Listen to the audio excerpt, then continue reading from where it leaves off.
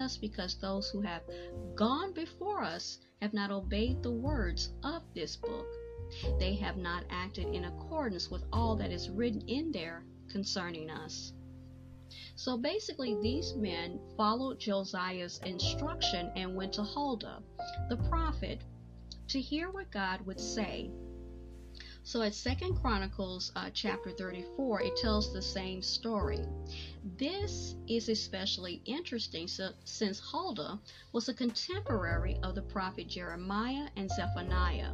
This is our only scriptural encounter with Huldah, but she must have been known as someone who heard from God.